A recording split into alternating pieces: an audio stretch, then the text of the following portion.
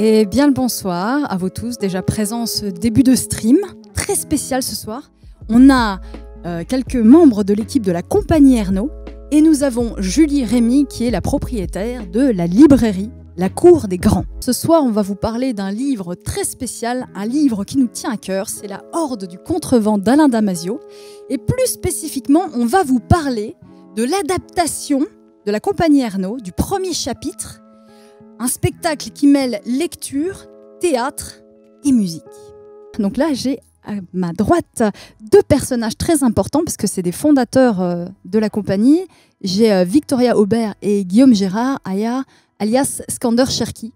Comment t'es venue l'idée de la création de, de, cette compagnie, sachant que toi, tu as un passé de comédien qui est assez fort, et même monté jusqu'à Paris. As... Ouais, me semble, hein il me semble. Je suis monté jusqu'à Paris. C'était surtout en fait avec la, troupe du théâtre de, l'épée de bois à la cartoucherie de Vincennes. Donc euh, voilà, j'étais un, un, jeune comédien là-bas, j'y suis resté une saison. Euh, on, a travaillé effectivement sur Le Malade imaginaire, sur La Célestine. Euh, un peu sur, moi j'ai participé à la scénographie de Yerma, on, avait joué à Madrid.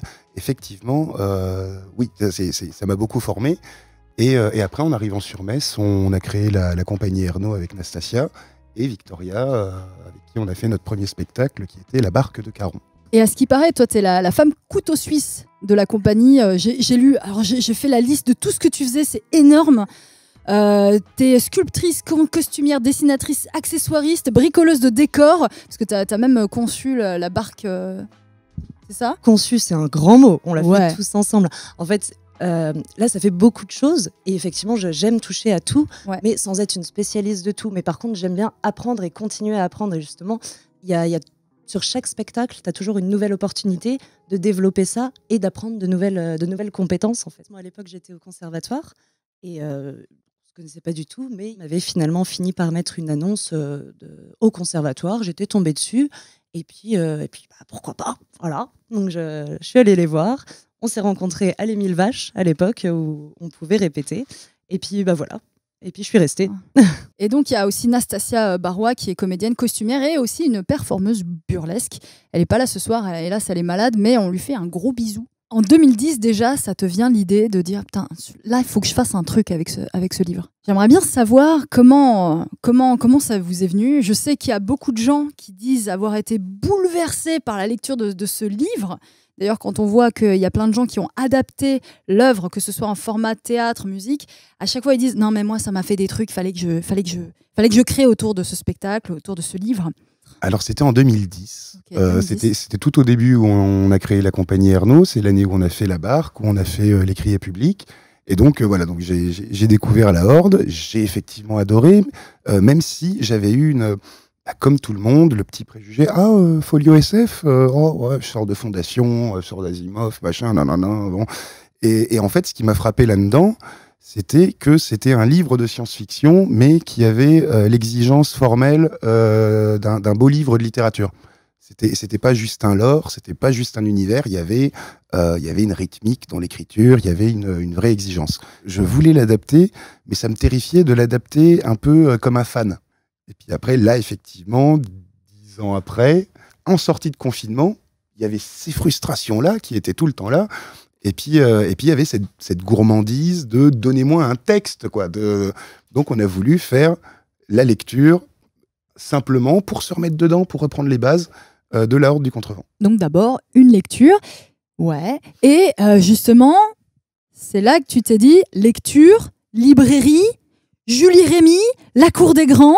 Tout à fait. Et alors, comment ça s'est passé d'ailleurs? Comment, comment Guillaume est venu tout guilleret dans ta librairie proposer dit Exactement comme ça. Guillaume est rentré tout guilleret dans la librairie et m'a dit Bonjour, compagnie Arnaud, ça vous dit quelque chose? Voilà, j'ai ça en tête. Et voilà, exactement comme il l'a fait là, il m'a parlé de son idée. C'est vrai qu'on était dans une période un peu particulière. Sur le coup, je, me souviens bien de ce que je lui ai dit. Je lui ai dit écoutez, euh, je ne sais pas. je ne sais pas quoi vous dire parce qu'on était quand même sur une période à la fois de sidération, d'hésitation. Mais euh, en tout cas, euh, je vous recevrai avec plaisir si c'est possible.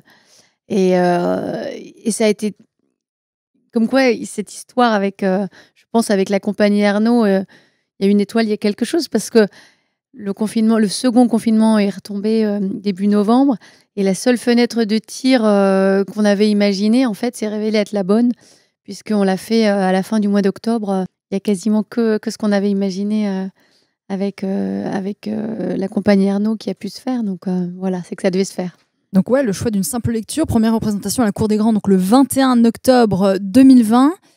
Et puis bon, de, fil en aiguille, prend l'ampleur du spectacle, avec donc l'ajout de bruitage, une bande originale jouée en live, on va en reparler après.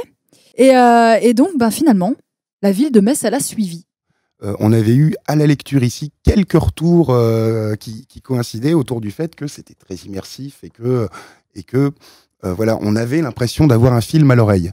Et effectivement, sur les donc juste avant l'été, la mairie de Metz fait un appel à projet pour les rendez-vous culturels. Et donc là, bon, ben, on fait un dossier, on se dit allez, on fait les choses bien, on fait un budget, on fait un dossier, on fait ce qu'il faut, machin. Ce qui nous a permis d'avoir une petite subvention, une aide à la création pour le pour Furvent, pour la porte des Allemands. Et, et, effectivement, ça a tout changé là pour le coup. Et donc l'occasion de jouer à Metz, parce que là, on a parlé de la représentation à la Cour des Grands, mais évidemment, le spectacle qu'on va vous diffuser tout à l'heure, c'est une représentation dans un lieu très précis, c'est la Porte des Allemands à Metz. Apparemment, vous avez eu du succès euh, ça s'est très bien passé. Alors, on l'a joué trois fois, mais, euh, mais globalement, oui, très bien reçu, euh, autant sur la musique que sur, sur le travail sonore, que sur les voix. Donc, très content. Et donc, j'aimerais qu'on parle un petit peu de, cette captation vidéo, donc vraiment par rapport au montage, par rapport au travail que vous avez fait en, termes de son. Il a fallu rendre du spectacle vivant, dynamique en vidéo. On a beaucoup travaillé pour que euh, les, l'étalonnage, euh, on ait deux étalonnages différents qui correspondent aux, deux types de focalisation qu'il y a dans le texte, euh, que les choses soient très rythmées, vu qu'on se parle, que les plans soient pas trop sur du plan large, euh, pour faire comme si on était dans le public, mais plutôt de, tirer le meilleur parti du zoom, enfin pas du zoom, mais d'un cadrage plus serré. Le, gros du travail sur ce, qu'on a fait avec le son a été d'essayer de, que le, à la fois l'instrumentiste, violoncelliste soit artiste sur scène et que celui qui lance ses samples soit autant un artiste qu'un DJ est un artiste. Donc là, on a vraiment la version la plus proche de ce qu'on a rêvé, quitte à tricher un peu, euh, dans la, post-prod, mais en tout cas, c'est très joli. Moi, j'aime beaucoup. Je remercie euh, évidemment les personnes qui euh, proposent déjà d'ores et déjà des commentaires. J'ai lu que Orf le marcheur, je suis totalement perdu avec un emoji qui pleure. c'est peut-être moi qui ne suis pas habitué à ce genre de choses, la narration d'un livre à l'oral, je ne sais pas. Ce n'est pas une critique, mais je me sens un peu surchargé d'infos ou de détails. J'ai l'impression que le récit a démarré in medias res et qu'il faut peut-être bien focus pour ne pas lâcher. Ceci étant dit, je salue tout de même la technique qui est nickel. Et eh bien justement, le marcheur, c'est important ce que tu, ce que tu dis parce que à la base, euh, Notre Damasio avait prévu une introduction euh, faite par le scribe, le scribe Sauve. Euh, et, finalement, pour, pour ce roman, ils ont décidé de l'éluder et on entre tout de suite dans le vif du sujet. Euh, et en fait, euh, ben, ok, c'est vrai que le début, au début, la lecture est difficile, mais en vrai, c'est génial. Comment dire, on, voulait que à l'écoute, on se retrouve très exactement comme quand on ouvre le livre pour la première fois. Donc quand on ouvre le livre, on ne sait pas qui est Sauve, on ne sait pas qui est Golgoth, on ne sait pas qui est Orochi, on est là avec son, son petit marque-page là, et, ça nous apporte rien de plus de savoir que le mec qui parle s'appelle Sauve et qu'il est scribe dans, dans l'action du chapitre 1. Donc euh, là, l'idée, c'était de faire la même chose. Donc effectivement, on apprend à connaître le lore de la Horde et à aimer les personnages au fur et à mesure de, de la lecture du livre. Donc là, le but, c'est de pousser les gens vers la lecture du livre, notamment en l'achetant ici. C'est le moment où on va rentrer dans le processus de création. Et je vais d'abord m'adresser aux, aux, comédiens. Il y a, il a une, adaptation très fidèle du texte. Il y a eu très peu de phrases coupées. Comment tu comment as, fait ça? Pour moi, la Horde, il, il, a plus de valeur en tant qu'objet livresque. Effectivement, c'est quelque chose qui se vit tout seul, qui, on se crée ses images. Euh, donc l'idée était, c'est le pilote, c'est une des aventures de la Horde, c'est leur premier survent du livre. Donc le, pour moi, il fallait euh, plutôt que de faire une une adaptation qui, prend un peu, euh, qui, vit un peu tout ça à travers le prisme de Sauve, plutôt que d'essayer de, symboliser les personnages ou de commencer à parler en disant Sauve dit, Pietro dit, Pietro prend la parole, Golgoth s'attaque à. là, l'idée était d'avoir des tessitures différentes et que dans ces tessitures, on reconnaisse une personnalité l'adaptation s'est faite un peu dans le sens que la, façon dont Caracol dit que, les choses se créent, la, voix euh, préexiste au corps. On, s'en fout de savoir, euh, de savoir qui est qui au début du bouquin. Comme effectivement, on arrive in medias res et on, on découvre ces gens dans l'action. Donc c'est ça l'idée dans l'adaptation.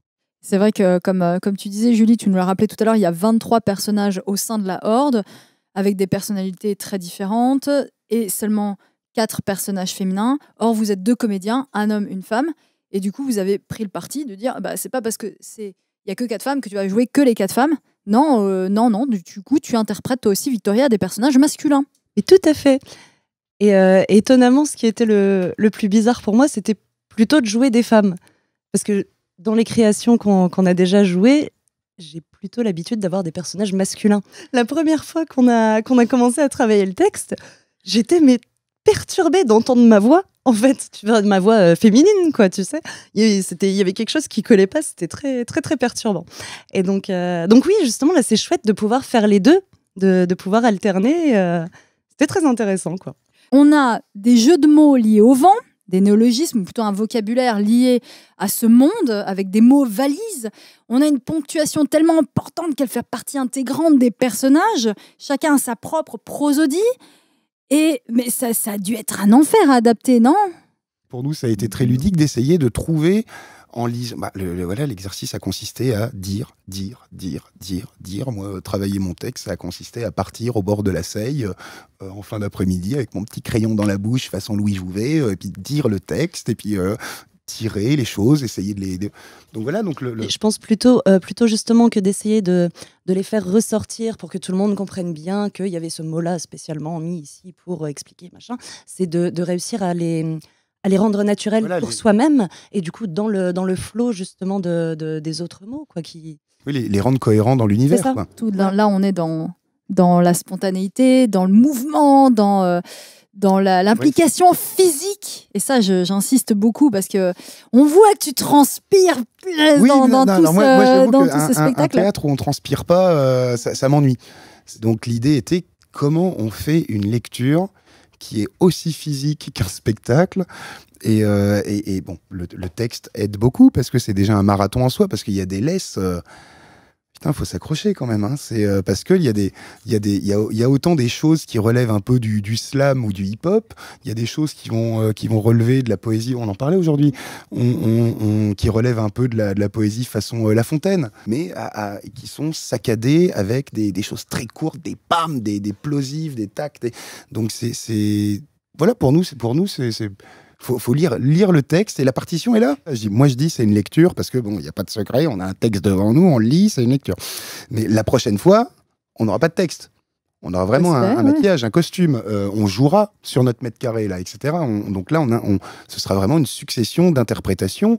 Il y a Thibaut Dubourg qui est en train de nous préparer un plan de feu magnifique. Tu vois, c'est, je suis, je suis un musicien avec Eleonore Zilinski, la violoncelliste, avec Didier Delaporte, avec Ginger McCurley et avec Victoria Aubert à côté. On est comme une sorte de quatuor à cordes. Je le vois pas comme on n'est on n'est pas encore dans l'interprétation. On est dans la lecture pour l'instant. On déchiffre, mais euh, c'est une étape. Aussi, Victoria, tu le, tu le vis comme ça ou? Oui, parce que de toute manière, si, tu enlèves euh, ne, serait-ce que, euh, que les, les, les, effets de vent, par exemple, ça perd déjà, rien que pour nous. On, est, on se porte les uns les autres, en fait, si tu veux. Euh, est-ce que euh, vous avez euh, chacun une affection particulière pour l'un de vos personnages? Oui, il y, en a aussi qu'on n'aime pas trop. Mais euh, oui, bah, bah, moi évidemment, je, j'aime j'aime la douleur de Golgoth. C'est une, une personne qui est euh, tellement passionnée par, euh, par ce qu'elle fait que des fois, elle peut en oublier certaines conventions humaines. Il, il, a une réelle honnêteté. Il fait pas les choses par, par calcul, par vice, machin. tu vois, donc pour moi, c'est c'est un bon gars, Golgoth. Et en plus, il a une sacrée verve. Je préfère la verve de Golgoth que la verve de Sauve. Euh, je suis désolé. Sauve, pour moi, est plus lyrique. Caracol, j'aime bien. Je l'aimais quand j'étais plus jeune. Caracol, je pense qu'on on, l'aime on l'aime quand on découvre le livre et on, on, s'en éloigne un peu en vieillissant et on se rapproche des personnages plus humains. Plus humains. Moi, mes personnages préférés, c'est Step, Silanfre, Talweg, c'est l'autourcier. Il y a des personnages sublimes, mais qui ont une trajectoire purement humaine ils n'ont pas une trajectoire épique. C'est, je pense, euh, quand tu lis ce bouquin plusieurs fois, euh, tu apprends à voir les personnages de manière différente, en vieillissant. Parce qu'ils sont tellement humains, leurs faiblesses sont tellement euh, humaines, justement, et, tu te retrouves dedans. Et au fur et à mesure que toi, tu grandis et, apprends à voir tes faiblesses, tu les reconnais dans ces personnages-là. Et je sais que moi, je vais les juger plus durement, en fait mais parce que je, je, je, me, je me juge plus durement aussi au fur et à mesure des années, tu vois. Pareil, Golgoth, les mêmes raisons. Vraiment, il, me touche beaucoup. Et, et ensuite, ça va être euh, bah, pas spécialement des personnages que, que j'ai, moi. Euh, on va voir Erg, justement, à cause de, de, ses faiblesses, à cause de. Euh, voilà, son problème à lui, c'est lui-même. C'est tout. C'est le plus gros problème de chacun. Hein. Mais, euh, mais voilà, euh, on a Arval aussi, il me touche beaucoup, et pourtant on n'en parle pas beaucoup. Il a, voilà, on n'a aucun, aucun moment, il me semble, de, de vrai paragraphe à lui. Et pourtant, ce serait, ce serait super beau, justement, d'imaginer euh, d'imaginer ce qu'il voit, tu sais, quand il est tout seul devant, comme ça, ce serait, ce serait chouette. Et du coup, ça me touche encore plus qu'il n'ait pas une vraie place. Enfin, je trouve, pour moi, en Narrative, en tout cas. C'est ça. Mais j'ai appris à accepter les personnages que je n'aimais pas du tout. Voilà, et c'est un pas énorme parce que voilà, on parlait de Coriolis par exemple. Gros a priori par rapport à Coriolis. J'ai du mal avec ces personnages-là. Mais c'est peut-être aussi justement le côté féminin. Tu vois, de, de, savoir euh, que réveille-toi, fais, fais, quelque chose, tu vois, bouge. Bref, euh, mais pour, euh, pour interpréter les passages, par exemple, enfin, interpréter c'est un grand mot, mais peu importe, bah, tu es obligé de comprendre en fait pourquoi elle est comme ça. Et du coup, à force, eh ben, tu acceptes et tu comprends mieux. Et je lui pardonne. Voilà. Et pour couronner le tout, Guillaume, tu as imaginé donc une bande sonore faite de bruitage, de sons de vent qui collent euh, à vos propos. Avant d'aborder le thème avec euh, Éléonore, la compositrice, ben justement, je souhaiterais qu'on parle de vos ambiances sonores avec deux autres acolytes. J'ai à ma gauche Didier Delaporte. Bonsoir. Et Ginger McCurley. Bonsoir. Alors, je vais commencer par Ginger. Ginger, en fait, euh, il est très connu sur la scène messine, et pas que, il me semble. Euh, jeune compositeur, arrangeur, mélangeur de sons, plutôt bercé dans l'électro. Je sais que tu travailles aussi avec Instaz, des copains à nous. Euh, tu as déjà sorti un album, deux singles. Euh, tu animes aussi des ateliers, notamment à l'Arsenal de Metz, à la MCL. Bref, tu es, quand même assez actif, hein, comme pas mal de membres de la compagnie. Et puis, euh, tu travailles euh, dans la compagnie Arnaud depuis 2017. Tu avais déjà travaillé donc avec Guillaume. C'était sur quel spectacle? C'était sur euh, le Peter Pan. Peter Pan. Et là, finalement, sur cette lecture, à la base, juste une lecture, je crois qu'il est juste venu te voir en disant Tu peux me bricoler un truc devant Ouais, c'était ça. C'était la, la, première représentation du spectacle qui a eu lieu ici, si je ne dis pas de bêtises. En octobre 2020. Tout à fait. Et oui, c'était cette histoire de euh, tu connais l'heure du contrevent? Non. Bah, attends, je vais le, je vais le lire. Donc j'ai lu le, livre que j'ai vraiment adoré. Et donc voilà, il y avait cette histoire de créer des masses sonores, des textures de, de vent. Dans cette histoire-là, le vent, il est, c'est un personnage presque, il est vraiment très, euh, très vivant. Ah, parce que là, finalement, je sais pas si tu es parti euh, tu as créé à partir de, de, vents existants, tu as trituré des, sons, tu es allé enregistrer dehors. Finalement, c'est quoi finalement, le processus de création? un mélange de tout ça. Il y a eu, une, euh, finalement une grosse part de recherche, en effet, d'écouter finalement des, choses, d'écouter des sons de vent. Et donc, c'était ça, c'était intéressant parce que c'était vraiment des gens qui ont été enregistrés des choses. Et donc, c'était euh, c'était cohérent avec, avec ce que nous, on cherchait euh, à, créer.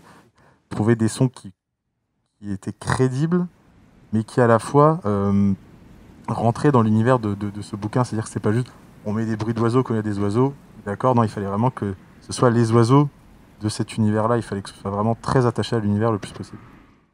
Et euh, donc ouais, ce serait intéressant de rajouter voilà, des, percussions et peut-être d'autres choses et, de pouvoir aussi avec euh, mon camarade Didier pouvoir aller encore plus loin dans la, dans personnification du vent, de le rendre encore plus vivant. car là, ce sont des, voilà, ce sont des, bandes sonores de vent qui, qui défilent durant le, spectacle, mais on pourrait euh, trouver une façon de le faire évoluer à chaque fois. Peut-être qu'à chaque fois, il pourrait sonner différemment. On pourrait peut-être trouver un truc. Euh, il y, a, sûrement des choses à faire évoluer. On euh. fait du coup sur le live essentiellement, quoi. C'est-à-dire de vraiment le faire moduler. Quoi. Donc là, en, étant à, deux dessus, il y aurait moyen de encore de le, de le gonfler ce vent.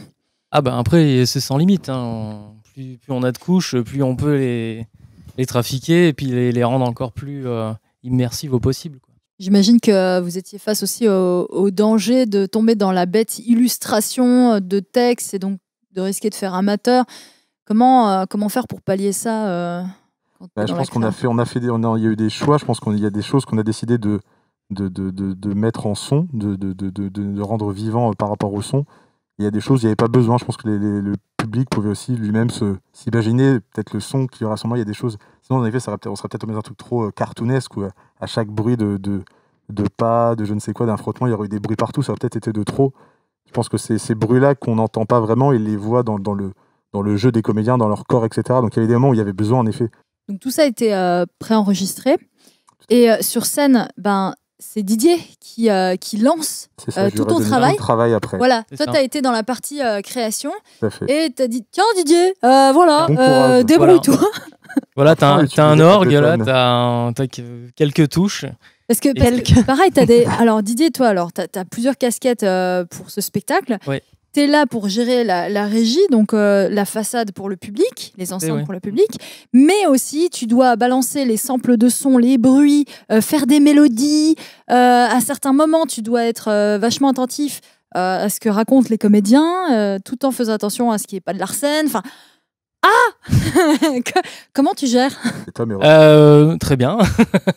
non, j'avoue que c'était c'était assez assez pas complexe, mais tu es obligé d'être concentré euh, constamment sur euh, le, rendu, en fait, pour, euh, pour essayer de te mettre à la place du, spectateur, pour qu'il soit suffisamment.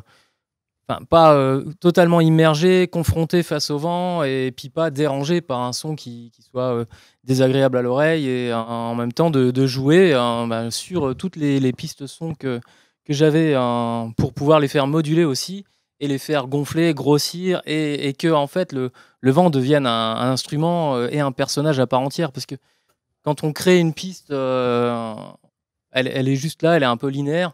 Même si on essaie de la travailler en amont, il faut quand même qu'elle soit euh, vraiment en adéquation et puis qu'elle qu'elle fasse interagir en même temps avec les comédiens. Là, c'était, on est parti vraiment de, de, la petite représentation à la librairie où, où Guillaume me dit ah, j'ai un petit projet, euh, est-ce qu'il y aurait peut-être moyen de mettre un petit micro? Ils se font à chaque fois avant, hein pareil, c'est ça qui est génial. Et du coup, tu te prêtes au jeu, tu te dis, ouais, bah oui, pas de souci, ça me fait plaisir. Euh. ah, puis si on est une petite piste euh, devant à mettre, tu pourrais juste mettre un petit truc, et puis bah, l'idée gonfle, l'idée grossit et tout, et puis bah, tu te prêtes au jeu forcément, tu, tu prends plaisir à ça, et puis bah, à la fin, bah, tu tu crées ça, quoi. En fait, on, a créé tout ce, produit final qui est, est, exemplaire, qui est énorme, en fait. Alors, Guillaume, on a vu, tu as, demandé à Didier, fais-moi deux, trois petits trucs de son. Tu as demandé à Ginger, fais-moi un gros truc de, vent. Euh, pourquoi tu t'es pas contenté du vent? Pourquoi? Pourquoi? Pourquoi? Alors, euh, alors d'une, euh, parce que effectivement, après la, alors pour la première lecture, on, j'avais déjà demandé à Éléonore si elle pouvait euh, sur, euh, sur cette première lecture-là, faire euh, quelques petits bruitages qui, qui, auraient été intégrés à la piste vent. Après la, première représentation ici, donc avec ces retours de on a l'impression d'entendre un peu un film, et je me suis dit, ok, effectivement, bah, faisons-le à fond. Donc on se retrouve juste avec la bande son. Et, c'était aussi un super prétexte pour travailler avec Eleanor, parce qu'avec sa, sa formation classique, où elle a un, son très beau, très pur, où il y a vraiment une technique très bonne. Et en même temps, elle a aussi ce côté geekette à travers les, formations comme le Full Metal, le full metal Quintet c'est des, elle fait des, adaptations, de, des, arrangements de, pour, Joe Hisaishi, par exemple. On, est, on, se retrouve sur euh, l'amour d'une technique, d'une forme. Donc moi, euh, au niveau du langage, au niveau du jeu, elle, au niveau du, beau son, de, la formation, et euh, nos petits délires de jeux vidéo, de choses comme ça. Et on s'est particulièrement retrouvé autour de ça, je pense. Historienne, musicienne messine, bercée par le classique depuis ta plus tendre enfance. Et euh, mais tu t'es assez vite tourné vers d'autres styles musicaux comme le jazz, la musique des Balkans, la musique irlandaise, les OST de jeux vidéo et de, d'animés japonais. Euh, le rock, le bluegrass, qu'est-ce que je note encore? Les musiques de films, évidemment. Tu as commencé à côtoyer le théâtre en 2012 avec la compagnie Arnaud et dès 2015 avec une professeure que je connais bien, que vous avez en commun, qu'on a toutes les trois en commun, c'est Claudia Calvé-Primus. On fait un gros bisou à elle. Euh, tu es bien sûr compositrice, c'est toi qui as écrit euh, toute la musique de ce spectacle, sous la direction euh, et l'œil, euh, l'oreille aussi, aussi, Alors là, oui, la direction, les, les, couleurs ou des, des, directions effectivement ça, données, pas de la direction. Hein. Alors, qu'est-ce qui t'a fait travailler Enfin, qu'est-ce qui fait Qu'est-ce que ça fait de travailler en fait avec un Guillaume exigeant, un peu foufou, très rêveur, qui part un peu dans tous les sens? Dans mes autres groupes, c'est un peu moi qui ai le rôle qu'a Guillaume dans la compagnie de l'idée un petit peu, euh, de donner plein d'idées. Et puis, euh, j'ai aussi euh, souvent de l'exigence et, et euh, voilà, donc ce côté-là, en fait, euh, j'avais l'impression de me voir, mais sauf que j'étais pas à sa place, j'étais euh, à la mienne en tant que, du coup, compositrice, ce qui était totalement différent de ce que je faisais d'habitude. Et là, c'était vraiment composé de A à Z. J'ai pris ça vraiment très au sérieux parce que c'était vraiment un, gros challenge. En plus, tu n'avais pas beaucoup de temps, il me semble, pour le faire. Oui, alors bah, j'avais pas beaucoup de temps parce que c'est vrai que j'avais plein d'autres projets aussi à côté. Donc, j'avais pris un petit peu d'avance sur un thème, le thème de la Horde, que, que j'ai fait assez vite que j'avais fini en, juin. Et du coup, toi, Léonore, par rapport à ce que tu as l'habitude d'écouter ou même euh, au jeu que tu, auquel tu aimes jouer, euh, pour la, création de, la BO de, ce spectacle Furvent, tu t'es inspiré de quoi finalement, toi? Euh, alors, bah, dans tout ce qu'il m'a envoyé, c'est vrai que j'ai pas, j'ai pas tout repris évidemment, mais bah, Red, Dead, Red, Dead, Redemption, effectivement, ça, je m'en suis pas mal inspiré, notamment pour le thème de l'oblique. Voilà, ça c'est le thème, mais c'est vrai que c'est pas ça qui fait particulièrement penser à, cette musique, c'est plus l'accumulation en fait euh, des, petits, des petites choses avec des effets euh, euh, qui étaient aussi qui étaient improvisés en fait. Il y avait une rythmique un peu derrière que j'avais enregistrée et, et par-dessus, du coup, je rajoutais des effets. Et au final, au bout d'un moment, bah, quand ça devient vraiment épique, là, je rajoutais le thème plus, plus poignant, quoi, avec vraiment une mélodie. Euh. Du coup aussi euh, Daft Punk, donc euh, Aerodynamics Beats. voilà. Et sinon, moi, de mes références, c'est vrai que je ne pourrais pas dire un truc en particulier. Bah, il y, a Le Roi et l'Oiseau pour ce qui est des dessins animés. J'écoute beaucoup, enfin j'adore Miyazaki, donc toute la musique de Joe Hisaishi aussi qui m'inspire beaucoup. et puis sinon, en termes de jeux vidéo, je suis plus rétro gaming, donc euh, des Zelda, euh, euh, du Mario, enfin des trucs comme ça. Et comment vous avez pu communiquer ensemble? Parce que toi, tu as fait un peu de clarinette dans ton passé? J'ai une formation très basique de, musicien. Je suis pas musicien comme Eleonore ou comme, comme Ginger.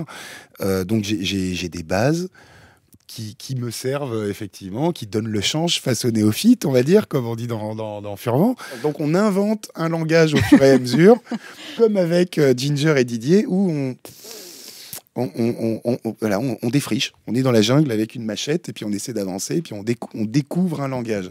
Hmm. Et elle, elle essaye, je pense, de son côté de, de, déjà de saisir l'image parce que quand on me dit, bon, alors, il faudrait que ça fasse Red Dead Redemption et Zelda et le dernier des Mohicans.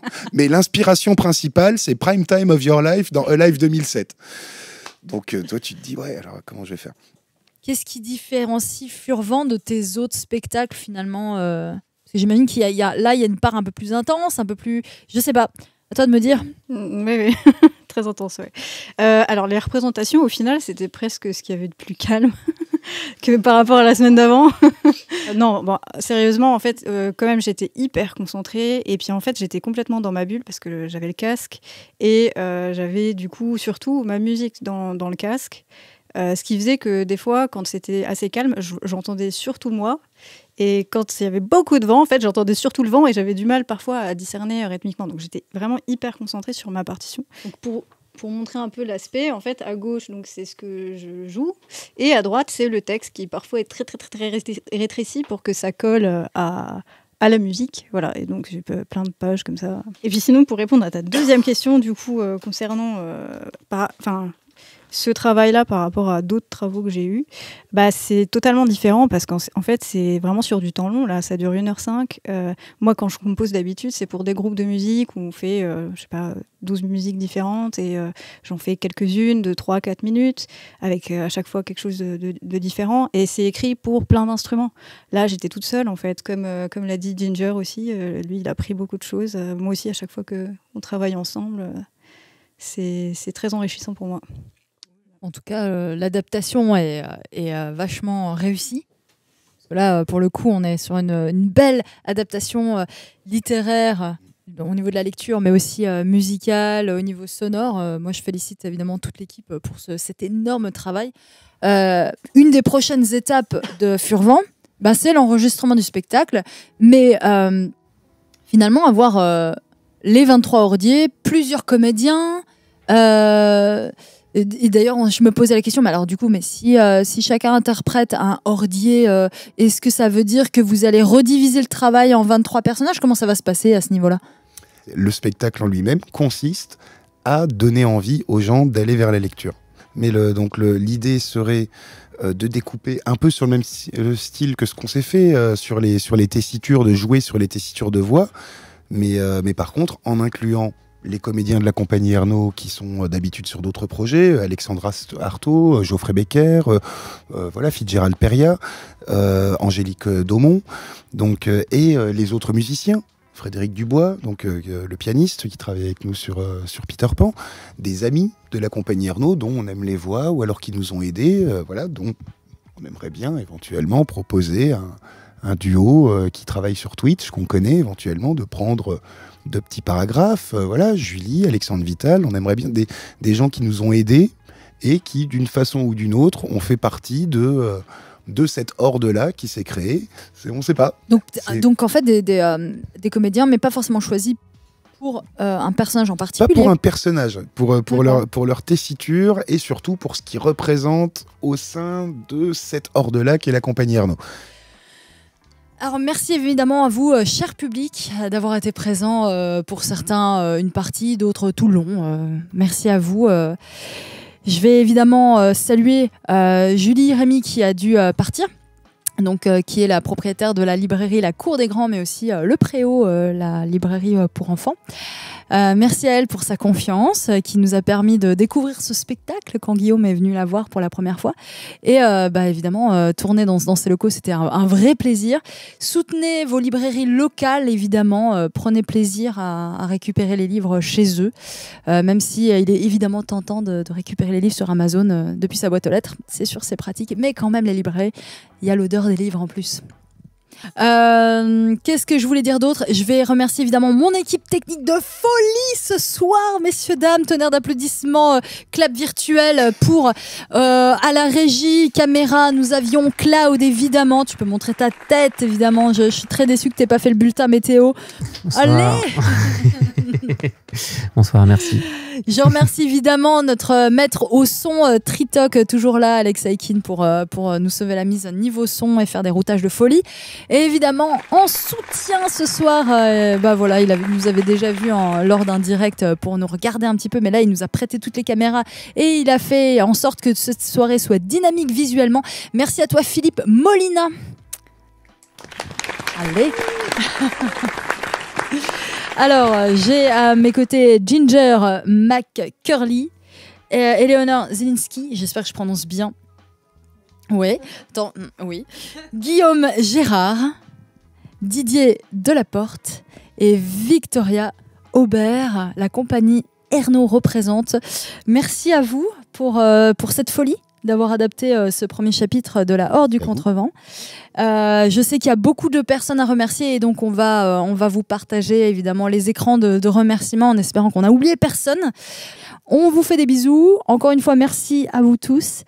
Et on vous souhaite une bonne nuit.